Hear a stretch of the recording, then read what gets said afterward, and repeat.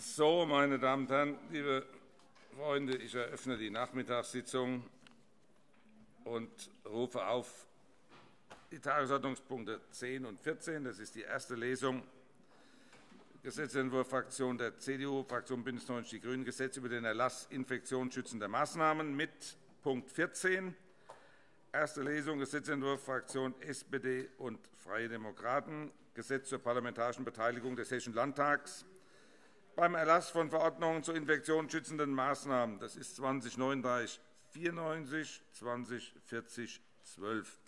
Redezeit zehn Minuten. Und es beginnt die Vorsitzende der CDU-Fraktion, Ines Claus. Bitte sehr, Ines.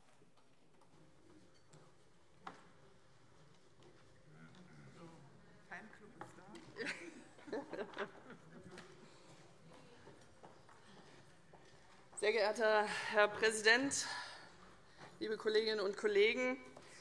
Wir bringen heute das Gesetz über den Erlass infektionsschützender Maßnahmen ein. Im Schwerpunkt geht es da um Parlamentsbeteiligung. Momentan machen wir das noch in relativ kleiner Runde, gerade wenn ich auf die Opposition blicke.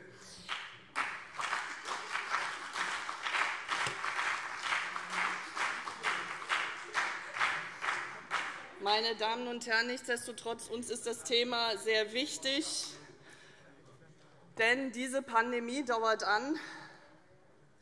Wir befinden uns bereits seit acht Monaten in dieser Pandemie und sind uns, uns allen, jedem einzelnen großen Grundrechtseingriffen ausgesetzt.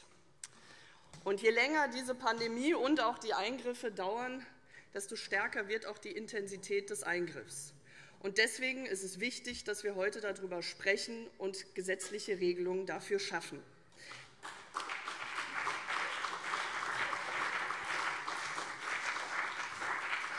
Und unser Entwurf entspricht der Verantwortung dieses Hauses, das hier zu regeln. Denn wir sind den Menschen draußen drei Dinge schuldig. Das ist zum einen Transparenz und Beratung hier im Parlament, zweitens eine handlungsfähige und flexible Regierung und drittens verhältnismäßige Maßnahmen, die uns durch diese Pandemie bringen. Und deswegen hat unser Gesetz eine Zwei-Säulen-Struktur. Das heißt, auf der einen Seite wird das Parlament gestärkt, und auf der anderen Seite wird das Regierungshandeln gestärkt. Alles in der Architektur des Artikels 80. Jetzt würde ich das noch weiter ausführen, aber bei der Opposition ist es weiterhin relativ leer. Und insoweit mache ich es trotzdem. Die Kollegin Faeser weist darauf hin, sie ist da. Deswegen, also, dann machen wir das so. Also, Artikel 80 sieht natürlich ausdrücklich vor, dass immer die Gesetze vom Parlament gemacht werden. Dass aber das Parlament dass aber das Parlament die Möglichkeit besitzt, auch an die Regierung zu delegieren. Ja, zu delegieren, das bedeutet, dass dann Verordnungen aufgrund von Gesetzen gemacht werden. Und auch das hat der Bundestag im März gemacht. Und auch das unter Zustimmung von SPD und FDP soll also heißen, dieser Zustand, der momentan auch beklagt wird aus diesen Reihen, ist selbst mitgetragen worden. Auch das gehört zur Wahrheit dazu.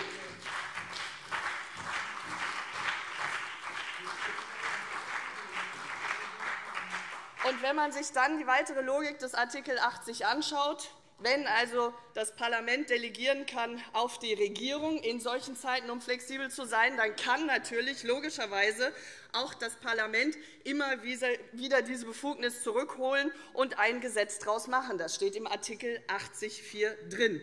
Und das haben wir jetzt in unserer Struktur des Gesetzes niedergeschrieben, aufgeschrieben und festgeschrieben. Und das bedeutet, dass an dieser Stelle entweder eine Verordnung in Kraft ist oder ein Gesetz, aber es gibt nie zwischendrin einen Schwebezustand, und den darf es in dieser Pandemie auch nicht geben.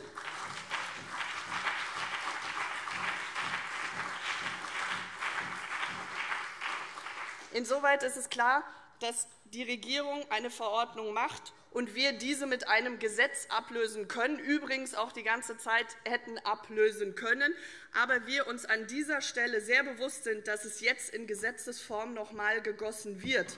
Und das ist wichtig. Die Kollegin Faeser hat es an anderer Stelle als witzlos bezeichnet. Wir wollten auch nicht witzig sein an dieser Stelle, sondern wir wollten einen wichtigen Rechtsgedanken konkretisieren. Es ist nämlich die Konkretisierung des Grundsatzes der Gewaltenteilung, und der steht sehr zentral in unserem Gesetz drin.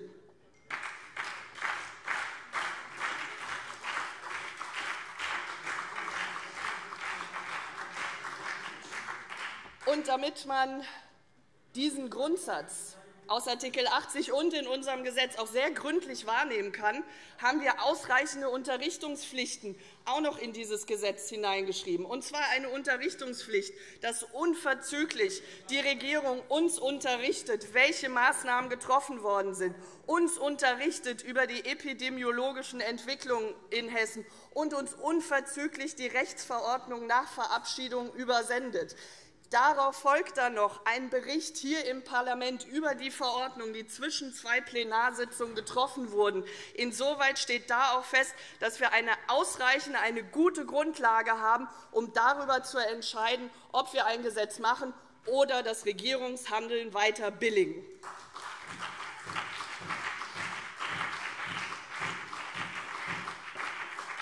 Um das noch einmal zu verdeutlichen.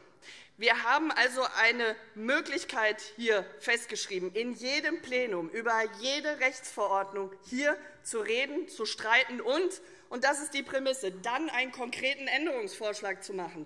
Es reicht also nicht zu sagen, finde ich nicht gut, hätte ich anders gemacht oder vielleicht. Nein, es ist konstruktiv, was wir hier vorgeschlagen haben. Und das ist wichtig an der Geschichte, weil ich wiederhole es noch einmal. Wir dürfen keine Schwebezustände in dieser Krise erlauben. Diese Zeit haben wir nicht. Das nehmen wir ernst, und das steht in unserem Gesetz drin.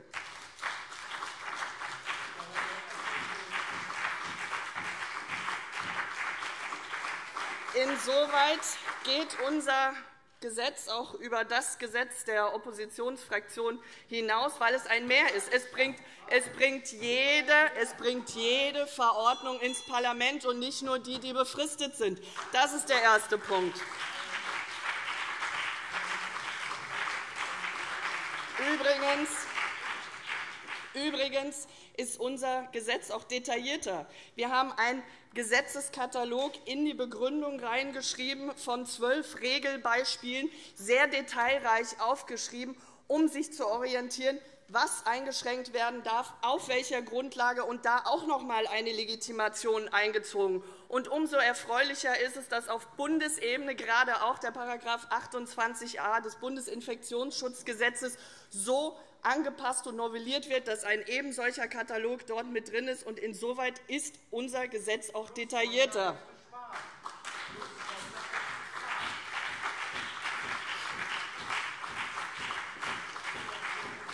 Also geht unser Gesetzesvorschlag nicht nur darüber hinaus, ist detaillierter, sondern ist auch hessischer. Und das ist doch auch wichtig an der Geschichte. Denn wir haben ja auch vorher uns natürlich hier eingebracht. Wir waren natürlich doch vorher beteiligt, und das haben wir noch einmal sehr detailreich reingeschrieben, und zwar im Bereich der Finanzen. Auch hier haben wir in § 3 Abs. 3 noch einmal die Parlamentsbeteiligung ausdrücklich normiert, so wie wir sie schon stehen haben im Bereich des Hessische Gute Zukunft Sicherungsgesetzes. Deswegen ist es sehr klar, und wir müssen sehr klar feststellen, dass dieses Parlament die ganze Zeit nicht nur beteiligt war, sondern maßgeblich mitgewirkt hat. Und alle, alle Vorwürfe, die dies bestreiten, die schaden diesem Haus. Sie tun nichts anderes, als dem Parlamentarismus zu schaden, und sie schaden, sie schaden dem Ansehen dieses Hauses. Und das muss man sehr, sehr deutlich auch einmal feststellen.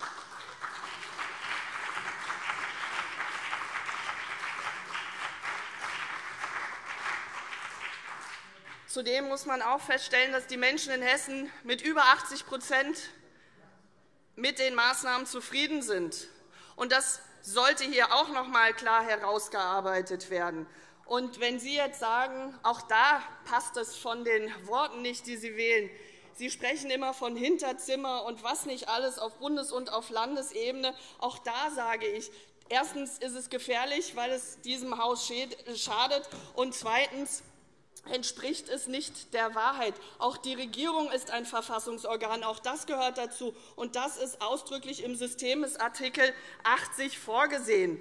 Und, und wenn Sie bislang von dem Artikel 80 nicht Gebrauch gemacht haben, dann kann das nur zwei Gründe haben. Der erste Grund könnte sein, Sie waren immer mit den Maßnahmen zufrieden, weil es keinen Änderungsvorschlag gab. Oder den zweiten Grund, und jetzt komme ich zu dem witzigen Teil, und da möchte ich Prof. Georg Hermes zitieren, der gesagt hat, dann könnte es auch an der Schlafmützigkeit der Opposition liegen.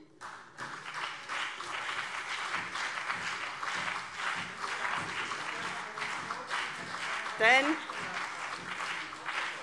ich möchte ich möchte noch einmal ausdrücklich feststellen, dass, obwohl dieses Gesetz noch nicht vorlag, hat uns die Regierung immer schon unterrichtet. Und insoweit sage ich auch noch einmal einen herzlichen Dank an den Ministerpräsidenten als auch an die gesamte Landesregierung, die uns vorher schon unterrichtet hat, die uns vorher die Verordnungen zugesichert hat. Auch das gehörte zur Parlamentsbeteiligung. Vielen herzlichen Dank dafür. Frau Kollegin, Sie müssen zum Schluss kommen. Deswegen zweite Säule beinhaltet dieses Gesetz nicht nur die Stärkung des Parlaments, sondern zweitens auch die Billigung des bisherigen Regierungshandelns. Auch das ist wichtig. Und zum Schluss stelle ich fest, das Parlament war und ist nicht vor der Tür. Die Regierung war und ist nicht im Hinterzimmer gewesen. Und wie die Verfassung das vorsieht, sind wir zwei Säulen eines gemeinsamen Hauses. Das haben wir in ein Gesetz geschrieben, und wir freuen uns auf die Beratung.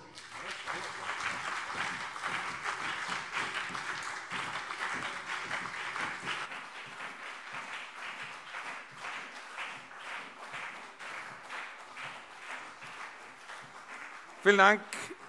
Das Wort hat die Frau Kollegin Nancy Faeser, Vorsitzende der SPD-Fraktion. Bitte sehr, Nancy.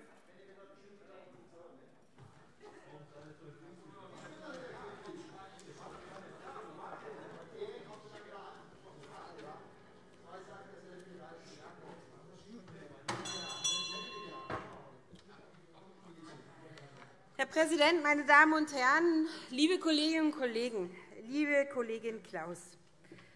Das, was ich hier in den letzten Monaten erlebt habe als Parlamentarierin, und ich glaube, meiner Fraktion geht es da ähnlich, dass wir monatelang immer erst informiert wurden, wenn die Presse schon informiert war vom Ministerpräsidenten, die Verordnungen erst erlassen wurden, dann uns irgendwann zugeleitet wurden, war eine parlamentarische Zumutung sondersgleichen. Aber dass Sie sich heute noch hier hinstellen und uns dafür beschimpfen, also das finde ich, haut dem fast den Boden aus. Also das muss man wirklich mal sagen.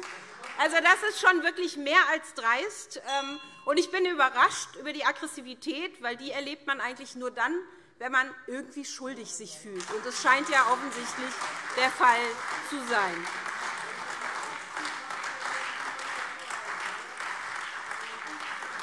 Ich habe es an dieser Stelle schon häufiger gesagt, und es beweist sich von Debatte zu Debatte mehr, Herr Bauer. Auch Sie müssen sich diese Fragen gefallen lassen.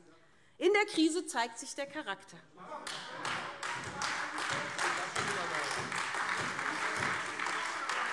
Das gilt für Menschen, Herr Bauer, das gilt für Regierungen, und das gilt auch für Demokratien. Die überwiegende Mehrheit der Menschen in Hessen haben uns in den letzten Monaten gezeigt, dass sie Charakter haben. Ich denke mal an die Menschen im Krankenhaus, in den örtlichen Praxen, die Menschen, die trotz äh, Beschränkungen noch im Supermarkt arbeiten mussten, das alles hingenommen haben. Diesen Menschen äh, verdanken wir in der Krise das meiste, und die haben Charakter gezeigt in den letzten Wochen und Monaten. Und das ist es, was dieses Land auch ausmachen soll.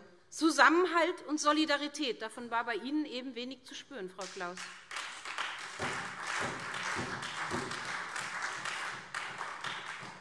Und das ist nicht selbstverständlich, denn die Zumutungen waren enorm und sind enorm für Familien, für Unternehmen, für Beschäftigte, für junge Menschen, für alte Menschen, für uns alle. Und dennoch können wir eigentlich stolz auf das sein, was die Hessen in der Krise geleistet haben. Auch für uns im Parlament hat das Jahr enorme Zumutungen gebracht. Wir haben vieles möglich gemacht, was sonst undenkbar gewesen wäre. Ich will nur noch einmal daran erinnern, dass meine Fraktion dem Nachtragshaushalt im März innerhalb eines Tages in allen Lesungen zugestimmt hat. Meine Damen und Herren. Ich weiß nicht, wo Sie von Schläfrigkeit von Opposition oder Verweigerungshaltung reden. Also, das ist schon wirklich sehr, sehr dreist unter diesen Voraussetzungen.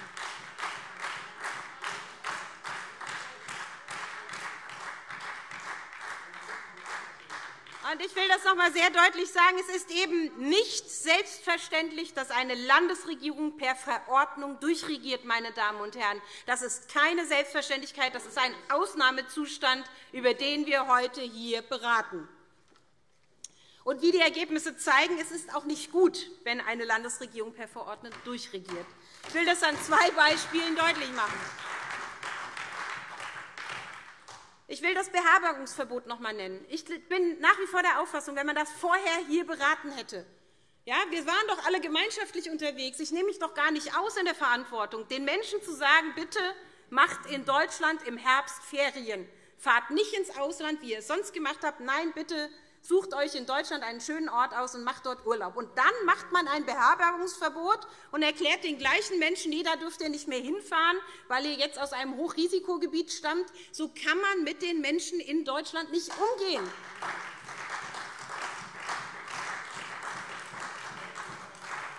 Und ein zweites Beispiel sind die neuerlichen Verbesserungen. Auch da haben wir Hätten wir eine Chance gehabt, wenn wir vor dem Erlass der Verordnung hier einmal darüber debattiert hätten, vor dem zweiten Lockdown jetzt, zu sagen, was sind denn die neuen Maßnahmen und welche gibt es und welche sollte man machen, welche nicht. Ich will die Musikschulen, die Kunstschulen ansprechen.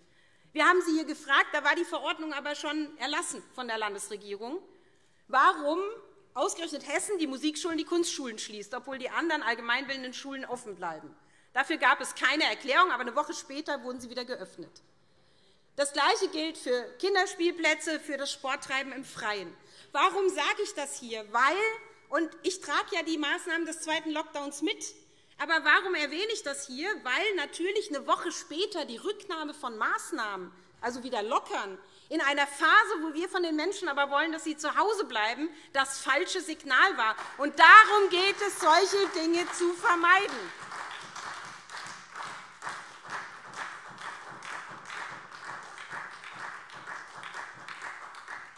Aber, das sage ich auch ganz deutlich, liebe Kolleginnen und Kollegen, es geht um viel mehr. Es geht bei den Maßnahmen zur Eindämmung von Covid-19 um massive Grundrechtseinschränkungen. Deshalb bedarf es dringend einer regelmäßigen und frühzeitigen Einbindung der Parlamente.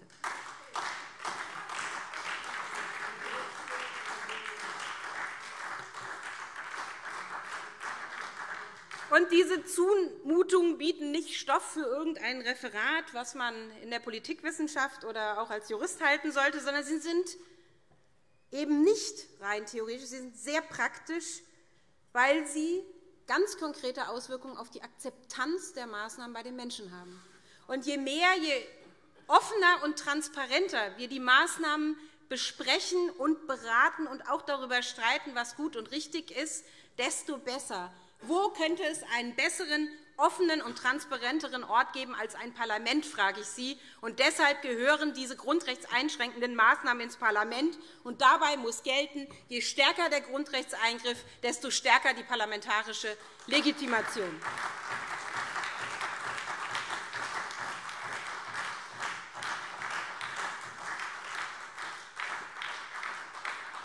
Aber die Antwort von Schwarz-Grün war über die gesamte Krise knapp hinweg. Mehrheit ist Wahrheit. Das war an sich schon ärgerlich, doch in der Krise ist es fatal. Der Preis für diese Arroganz ist der Verlust der Akzeptanz. Ich will das deutlich noch einmal sagen. Und da brauchen Sie jetzt auch nicht, Herr Kollege Wagner, ich kann Ihre Rede schon durchsprechen. Ich weiß, dass Sie sich eh dann gerne an mir abarbeiten. Machen Sie viel Spaß dabei. Sie werden hier sagen, es gibt doch gestern eine Umfrage die sagt, dass die beschlossenen Maßnahmen zum zweiten Lockdown große Akzeptanz finden. Ja, das ist so. Wenn Sie mich fragen würden, ob ich die Maßnahmen gut finde, würde ich auch Ja sagen. Finde ich auch gut. Ich wäre in dieser Statistik mit drin. Würde man mich aber fragen, ob ich mit dem Handeln der Landesregierung in der Krise zufrieden bin, würde ich Nein sagen. Und das sieht man an dieser Statistik eben nicht.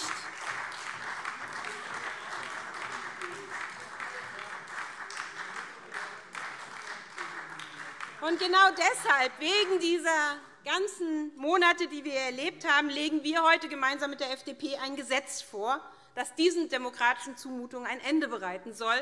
Und es ist ein äh, Gesetz, ich will das noch einmal ausdrücklich dazu sagen, weil man soll ja auch sagen, wo kommt das her? Es kommt aus Baden-Württemberg.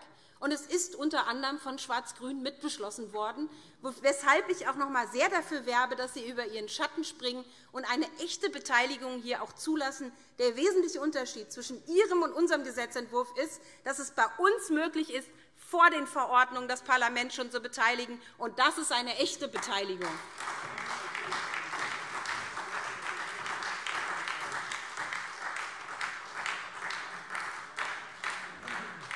Und eigentlich eint uns ja die Überzeugung, dass gerade in der Pandemie das Parlament beteiligt werden soll. Und es mag die Herren auf der Regierungsbank überraschen.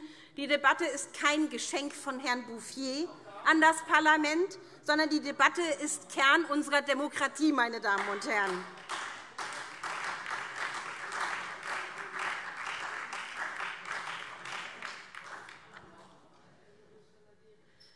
Und wir wollen, das ist auch ein weiterer Unterschied unseres Gesetzentwurfs gemeinsam mit der FDP zu Ihrem, dass wir auch dann im Landtag entscheiden, wenn eine Verordnung länger als zwei Monate gilt. Auch das ist eine wichtige Unterscheidung, dass wir sie dann, auch wenn es Eilentscheidungen gibt, und dafür gibt es gute Gründe, ich will da gar nicht dagegen sprechen, es kann gute Gründe für Eilentscheidungen geben, aber auch dann wollen wir hier im Parlament dazu beteiligen wollen. Ich will den zentralen Unterschied noch einmal hervorheben. Wir wollen eine echte Parlamentsbeteiligung in der Krise. Sie wollen ein Feigenblatt für die fehlende Parlamentsbeteiligung, die bislang in der Krise da war.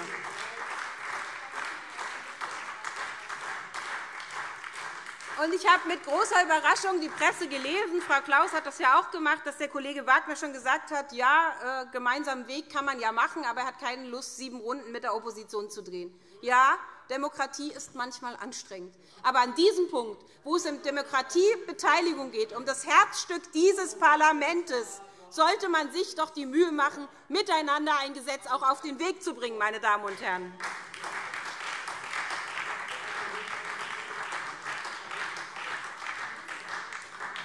Oder zählt für Sie nur noch die Regierung? Ich will Ihnen sagen, dass Ihre Partei das ja im Bund offensichtlich anders sieht. Ich will das noch einmal zitieren aus einem Antrag der GRÜNEN Bundestagsfraktion. Ich zitiere. Die verfassungsrechtliche Unsicherheit birgt das Risiko, dass die bisher im Verordnungswege verfügten Maßnahmen das Ziel der Eindämmung des Infektionsgeschehens nicht erreichen können, weil Regelungen gerichtlicher Überprüfung nicht standhalten. Rechtsstaatsprinzip, Demokratiegebot und das Ziel der Eindämmung der Pandemie erfordern daher eine stärkere Einbindung der Parlamente und die Beseitigung bestehender gesetzlicher Defizite. Und deshalb plädiere ich noch einmal dafür, unserem Gesetz auch zuzustimmen. Meine Damen und Herren.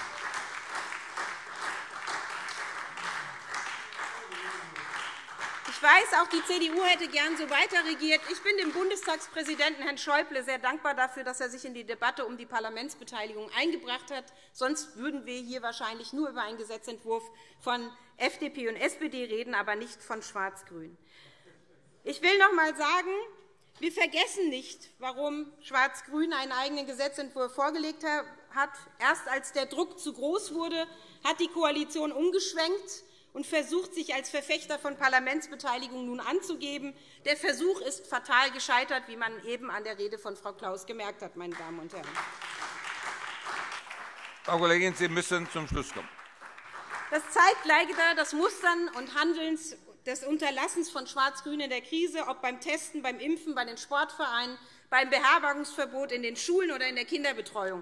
Die Landesregierung findet eine Lösung, manchmal sogar die richtigen, aber immer erst, nachdem sie die falschen ausprobiert hat. Meine Damen und Herren. Und deshalb brauchen wir jetzt unbedingt einen Beitrag, den wir hier heute als Parlament leisten können. Deshalb legen wir diesen Gesetzentwurf vor, damit in Zukunft auch in der Krise gilt, das Herz der hessischen Demokratie schlägt in diesem Parlament, meine Damen und Herren.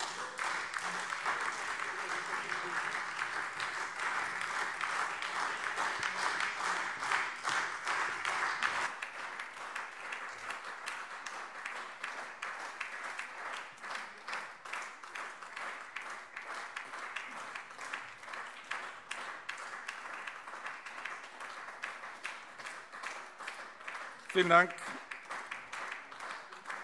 Vielen Dank, Frau Kollegin Faeser.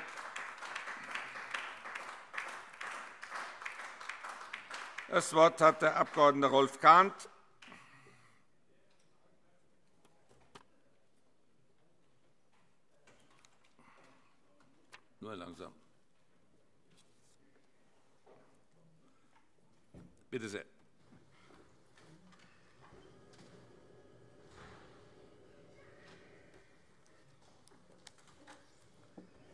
Präsident, äh, liebe Kolleginnen und Kollegen! Über einen gestrigen Redebeitrag zum Thema Hochschulen muss ich noch etwas anmerken. Ja, zur Demokratie gehört die Inszenierung von Konflikten. Aber die Grenze ist erreicht, wenn aus politischen Gegnern existenzielle Feinde gemacht werden. Sie sind es nicht, sondern Menschen, mit denen man den Dialog suchen muss. Den Dialog suchen die beiden vorliegenden Gesetzentwürfe. Trotz Differenzen ist vieles ähnlich, auch wortgleich formuliert, wie etwa in den § 1 bis 3. § 2 Abs. 5 und 6 bestätigen Gemeinsamkeiten. Die Gültigkeit einer Rechtsverordnung ist zeitlich angemessen zu begrenzen und kann jeweils durch die Verordnungsgeberin verlängert werden. Es herrscht Einmütigkeit. Die Weiterverbreitung übertragbarer gefährlicher Krankheiten muss durch zielgerichtete Maßnahmen verhindert werden. Ohne Frage, Einschränkungen von Grundrechten und deren Verlängerung benötigen demokratische Legitimation und parlamentarische Befassung. Der Knackpunkt im SPD-Freie Demokraten-Entwurf ist der geforderte Zustimmungsvorbehalt des Parlaments, was die Überschreitung der Gültigkeitsdauer und die Einhaltung von Zustimmungsfristen siehe § 2 Abs. 5 angeht. Angesichts eines sich dynamisch veränderten Infektionsgeschehens wäre dieser Vorbehalt nur mit hohen Risiken verbunden, will man sich nicht Vorwürfen ausgesetzt sehen, die da heißen Handlungsunfähigkeit oder gar Konzeptionslosigkeit. Jene schlimmstenfalls lähmenden Zustimmungsvorbehalte gegenüber erforderlichen kurzfristigen Maßnahmen nehme eine schwebende Unwirksamkeit billigend in Kauf, die aber weder der Exekutive noch der Bevölkerung zuzumuten ist. Ob Maßnahmen unverhältnismäßig oder rechtswidrig sind, das kann jederzeit ein Gericht überprüfen und klären. Abschließend. Ich halte beide Entwürfe für gut. Es geht um Beteiligungsrechte. Meine Zustimmung findet aber nur der Entwurf von CDU, BÜNDNIS 90 die GRÜNEN. Vielen Dank.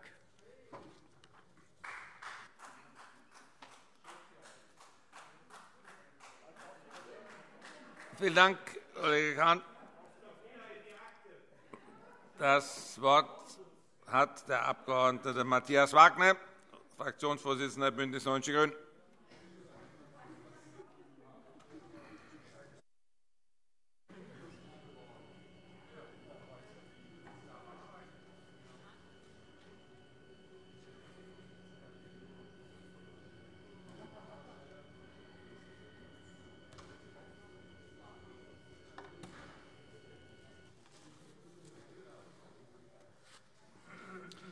Präsident, meine Damen und Herren! Ich kann mich zunehmend nur noch wundern, wie vonseiten der Opposition mit dem Thema Corona hier im Landtag umgegangen wird.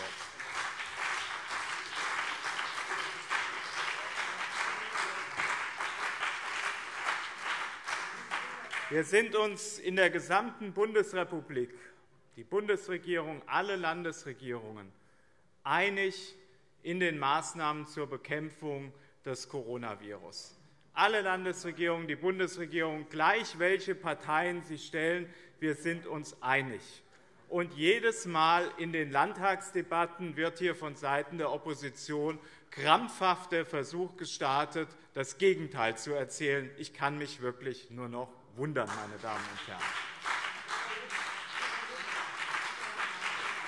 Ich verstehe nicht, ich verstehe nicht Frau Kollegin Faeser, wie man in einer Frage, wo sich die Parteien einig sind, wo sich die Parteien einig sind und zum Glück einig sind, wie man dann hier eine Debatte führen kann und Rednerinnen und Rednern dieses Hauses äh, die Charakterfrage stellt. Haben Sie es vielleicht auch ein bisschen kleiner in einer Frage, wo wir uns eigentlich alle einig sind?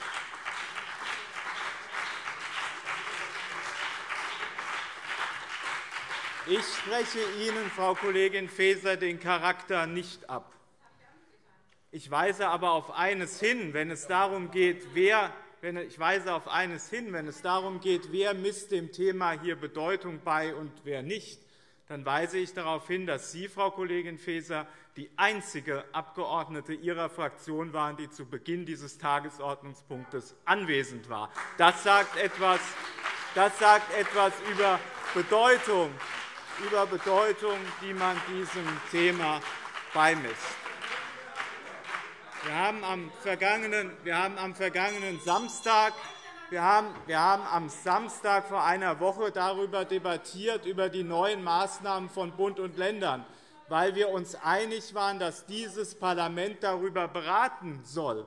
Und dann fehlt mir jedes Verständnis, liebe Kolleginnen und Kollegen der FDP, dass einige Abgeordnete von Ihnen dieser Sitzung ferngeblieben sind und andere Termine wahrgenommen haben. Das sagt auch etwas darüber,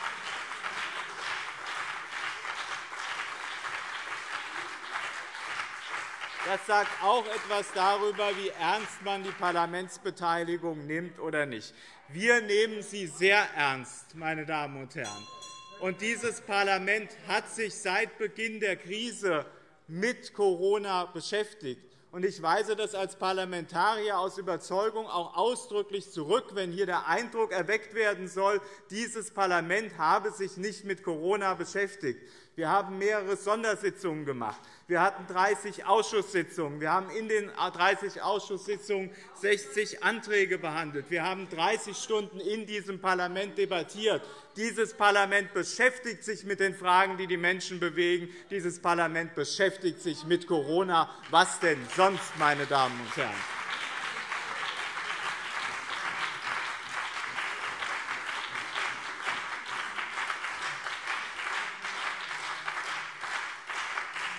In unserer Beschäftigung gehen wir heute einen wichtigen Schritt weiter, indem wir über Gesetzentwürfe beraten, wie wir die Beteiligung, die Mitentscheidung des Landtags auf eine gesetzliche Grundlage stellen. Und Kollegin Ines Claus hat dazu ja alles schon gesagt, was in dem Gesetzentwurf von CDU und GRÜNEN drinsteht. Wir verankern eine regelmäßige, umgehende Informationspflicht der Landesregierung gegenüber dem Parlament und wir stellen gesetzlich sicher, dass jede Verordnung, aber auch jede Verordnung hier im Parlament, im Herz der Demokratie, diskutiert wird. Und genau das ist auch richtig so, meine Damen und Herren.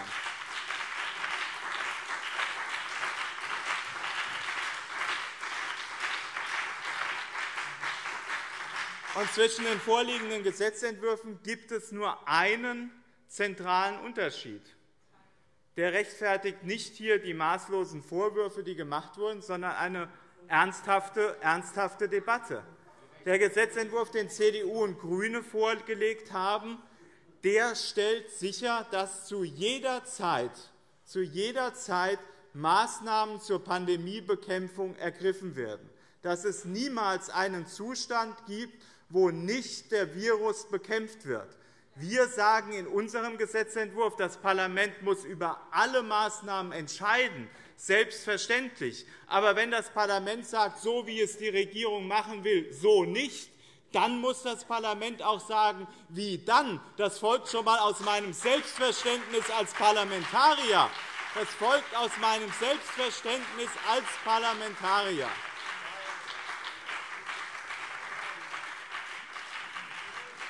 Es ist nicht die Aufgabe des Landtages und der ersten Gewalt in unserem Land, Haltungsnoten zu vergeben zu dem, was andere tun, sondern wenn man das falsch findet, was andere tun, dann muss man als selbstbewusste Parlamentarier und selbstbewusster Parlamentarier sagen, wie man es dann macht. Und genau das ist der Unterschied zwischen den beiden Gesetzentwürfen.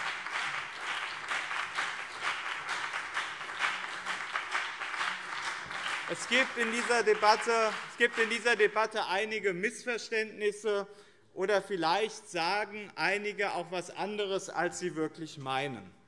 Das erste Missverständnis ist, die entscheidende rechtliche Absicherung der Grundrechtseingriffe muss auf Bundesebene erfolgen. Darauf hat Frau Kollegin Faeser aus meiner Sicht völlig zu Recht hingewiesen. Alle Maßnahmen basieren auf dem Bundesinfektionsschutzgesetz. Das Bundesinfektionsschutzgesetz ist nicht für eine lang andauernde Pandemie gemacht. Und deshalb müssen auf Bundesebene die entscheidenden rechtlichen Absicherungen vorgenommen werden. Das können wir als Landtag nicht heilen. Das müssen die Kolleginnen und Kollegen im Deutschen Bundestag erledigen.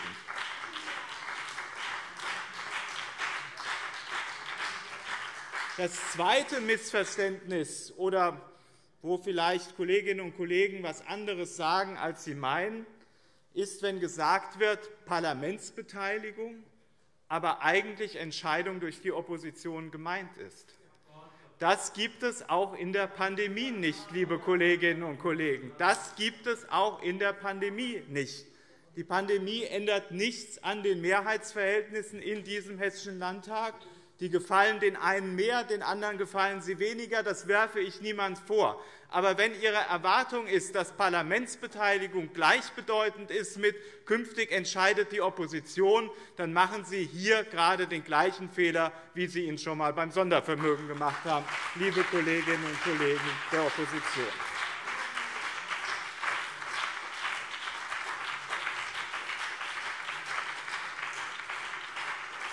Und deshalb, Frau Kollegin Faeser, drehen wir auch nicht erneut sieben Runden mit Ihnen.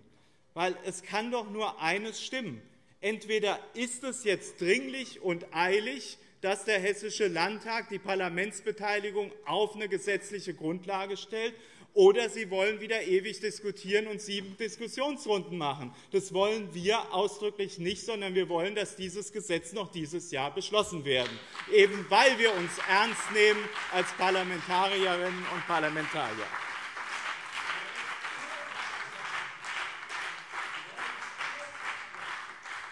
Und das letzte Missverständnis oder der Sachverhalt, wo andere etwas anderes meinen, als sie sagen, ist, wenn gesagt wird Parlamentsbeteiligung, aber eigentlich die Ablehnung der Maßnahmen gemeint ist.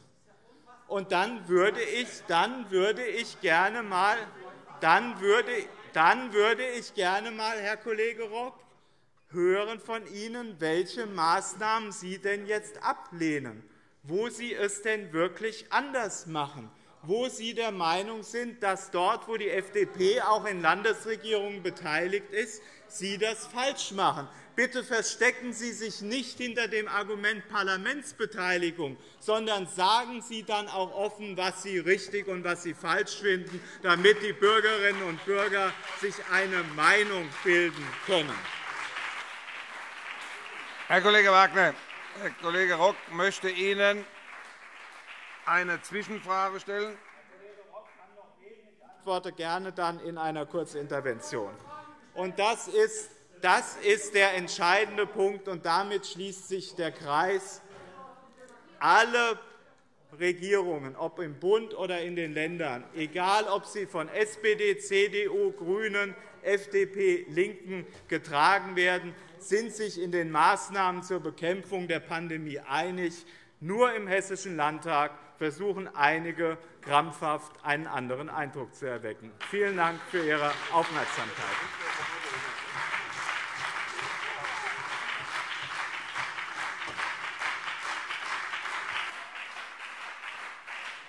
Vielen Dank, Herr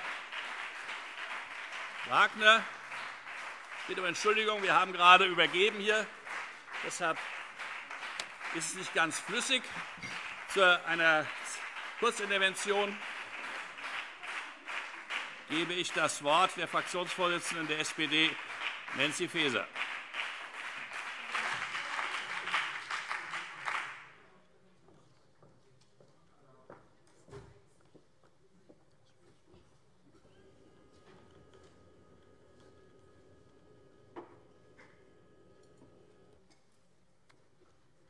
Sehr geehrter Herr Präsident, liebe Kolleginnen und Kollegen! Herr Wagner, Sie versuchen ja hier immer diese Tricks, dass, wenn man nach jemand anderem redet, dann zu interpretieren, was derjenige gesagt haben soll oder auch gemeint hat.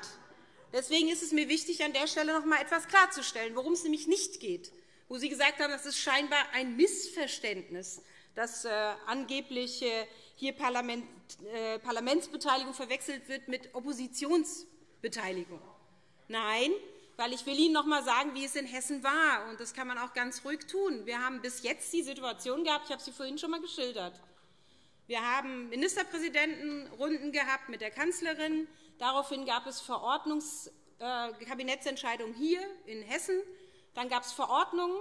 Und wenn diese, wenn diese Verordnungen existierten, erst danach ja, wurden wir informiert, informiert. Es gab zu keinem Zeitpunkt Parlamentsbeteiligung über diese Verordnung. Darum geht es heute. Um nichts anderes. Darum geht es heute, Herr Kollege Wagner. Und deshalb haben Sie ja auch gemeinsam mit der CDU einen Gesetzentwurf vorgelegt, weil sonst hätten die den gar nicht vorlegen müssen heute. Das wäre ja Unsinn.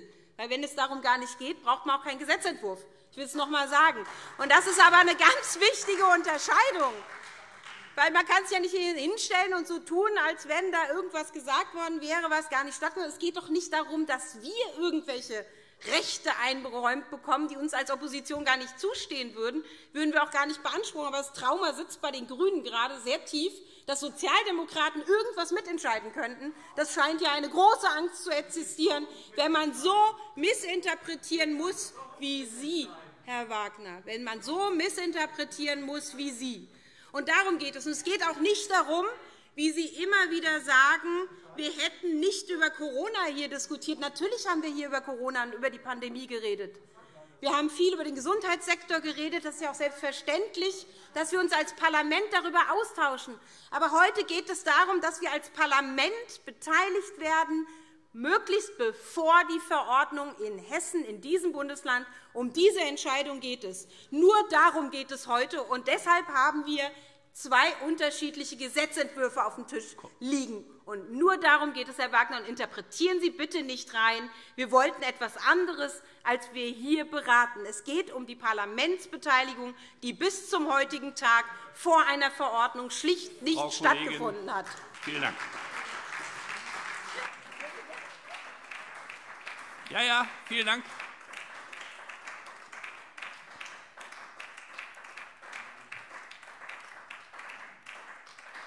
Zur Antwort hat der Kollege Wagner das Wort, und er bekommt auch brutto plus netto, weil wir ein bisschen Durcheinander am Anfang hatten.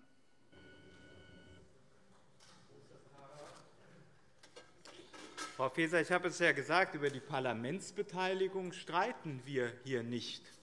Deshalb gibt es ja zwei Gesetzentwürfe, die beide die Parlamentsbeteiligung regeln wollen.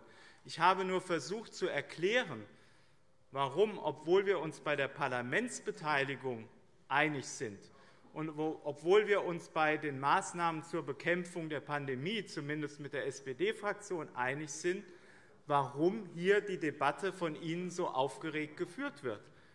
Das hat tatsächlich sehr viel mit dem Thema zu tun, dass Sie den Eindruck erwecken wollen, als würden Sie hier in Hessen etwas anderes vertreten, als Sie in den Landesregierungen, an denen Sie beteiligt sind, tun. Das versuchen Sie, diesen Eindruck versuchen Sie hier zu erwecken. Und darum, darum geht es im Kern. Sie haben eine strategische Entscheidung getroffen. Diese strategische Entscheidung war, dass Sie sich in dieser Krise 2020 anders verhalten wollen als in der Flüchtlingskrise 2015. Das haben Sie in diesem Parlament auch schon einmal gesagt. Sie haben gesagt, es hat sich für die SPD nicht ausgezahlt, den konstruktiven Weg bei der Bewältigung der Krise 2015 zu gehen. Und deshalb versuchen Sie jetzt, Deshalb versuchen Sie jetzt in dieser Krise einen anderen Weg zu gehen, nämlich der krampfhaften Kritik. Das ist ja eine Entscheidung, die man treffen kann, Frau Kollegin Faeser. Das ist ja eine Entscheidung, die man treffen kann. Ich halte diese Entscheidung aber für ausdrücklich falsch in der Situation, in der unser Land ist.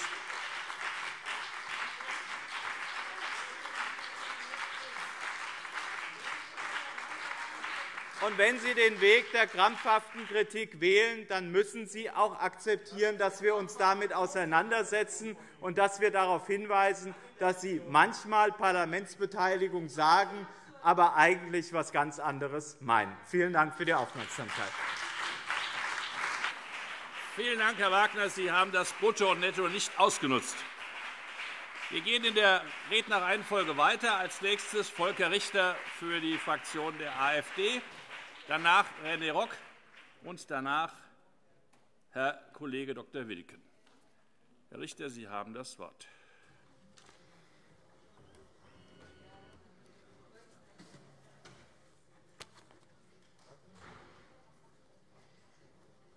Sehr verehrter Herr Präsident, meine sehr verehrten Damen und Herren! Die Problembeschreibung, die mit diesem Gesetzentwurf einhergeht, ist mit einem Satz aus diesem Selbst gut beschrieben. Damit stellt sich die Frage, vielen Dank, inwiefern die dadurch teilweise entstehenden tiefgreifenden Grundrechtseingriffe gerechtfertigt sind, weil die maßgeblichen Beschränkungen zwar aufgrund eines Gesetzes, aber eben in letzter Konsequenz durch Rechtsverordnungen angeordnet werden. Zitat Ende. Selbstverständlich ist es so, dass der Gesetzgeber sowie auch in den Diskussionen hier im Landtag gefordert stärker in die Entscheidungen einbezogen wird und auch äh, die Regulierung an sich ziehen muss. In der Problembeschreibung wurde auf Art. 80 Abs. 4 unseres Grundgesetzes hingewiesen und darauf, dass im Falle des § 32 Infektionsschutzgesetzes die Landesregierung durch Bundesgesetz oder aufgrund von Bundesgesetzen ermächtigt werden, Rechtsverordnungen zu erlassen und auch zu einer Regelung durch Gesetz befugt ist. Die von der Landesregierung dargestellte Lösung unterdessen unterstellt, dass der Landesgesetzgeber seiner Verantwortung nachkommt und entsprechende Abwägungen vorgenommen hat. Nein, meine Damen und Herren, der Landesgesetzgeber ist eben nicht seiner Verantwortung nachgekommen und hat auch nicht entsprechende Abwägungen vorgenommen. Auch schließen wir uns dem in der Lösung stehenden Satz nicht an, dass wir die bisherigen Handlungen der Landesregierung unterstützen und billigen. Meine Damen und Herren der Landesregierung, mitnichten kann man achtwöchige Untätigkeit und damit eine Verschleppung der größten Krise der vergangenen Jahre unterstützen und billigen.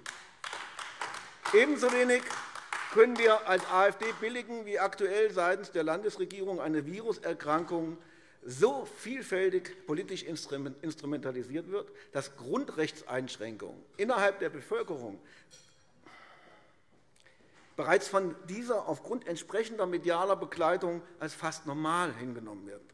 Nein, meine Damen und Herren der Landesregierung und der etablierten Parteien, Sie können noch so viel stöhnen, dies können und werden wir als hessische AfD mit Sicherheit nicht hinnehmen.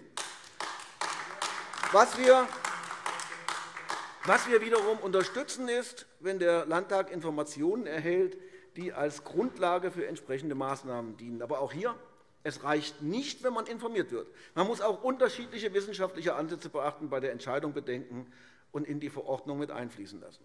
Denn wer einseitig ein Bild zeichnet, kommt zwar seiner Informationspflicht nach, aber, meine Damen und Herren, er bezieht nicht die Opposition in die Arbeit dergestalt ein, sodass diese gebührend Einfluss auf die Gesetzgebung nehmen kann, um ihre aus dem Rechtsstaatsprinzip resultierende parlamentarischen Kontrollrechte ausüben zu können, was sie aufgrund entsprechender Mehrheitsverhältnisse hier in Hessen, wie wir es eben gerade auch gehört haben, aber niemals haben wird. Daraus resultiert, dass eine Enquete-Kommission wie von uns als AfD eingefordert, zielführend und strukturiert Parteien berät und so die Abstimmungen auf eine weitaus breitere Basis gestellt werden, als sie derzeit und nach dem hier vorliegenden Gesetzentwurf stattfinden. Denn gerade denn gerade bei massiven Grundrechtseinschränkungen wäre es notwendig, auch die Opposition mit im Boot zu haben. Und hier, was wir als AfD ebenfalls klar definieren, werden wir selbstverständlich angesichts der nicht mehr gewahrten Verhältnismäßigkeit natürlich nicht zustimmen und damit auch ein politisches Zeichen an die Bundesregierung senden. Einer Bundesregierung, die in unglaublicher Art und Weise beginnt, tatsächlich den Kern unserer freiheitlichen demokratischen Grundordnung aufzulösen und unser Land in eine Situation zu bringen, wo die Einschränkung von Grundrechten bereits als zwingend notwendige Normalität dargestellt wird. Das hat sich eben in der Debatte hier auch gezeigt. Sie akzeptieren den Status quo. Das tun wir nicht. Dem kann man als Demokrat zu keiner Zeit folgen, was sich klar aus dem Gesetz selbst erschließt, § 1 Abs. 2. Zweck des Gesetzes besagt, dass die Grundrechte und Freiheit der Person, der Freizügigkeit, der Versammlungsfreiheit, der Berufsfreiheit, der Unverletzlichkeit der Wohnung eingeschränkt werden können. Dies sind in unserer Verfassung verankerte Grundrechte. Meine Damen und Herren. Allein schon dieser Ansatz lässt uns als freiheitlich-demokratisch denkende Partei den Atem stocken.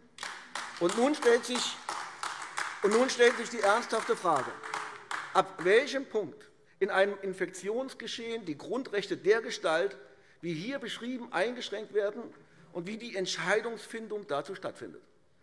Denn die derzeitige Entscheidungsfindung ist einseitig ausgelegt, nicht wissenschaftlich breit belegt und basiert auf einer aktionistischen und weniger auf einer medizinischen Basis. § 2 § 2 des jetzt von der Landesregierung eingebrachten Gesetzes umfasst die Befugnisse der Landesregierung. Und auch hier muss man genau hinschauen.